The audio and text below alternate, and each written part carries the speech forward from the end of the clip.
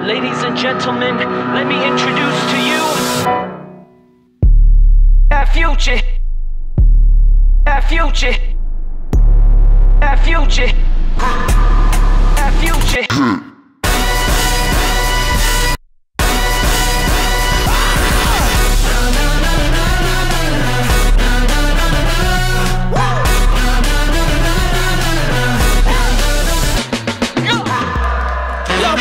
round applause to the end of the ceremony.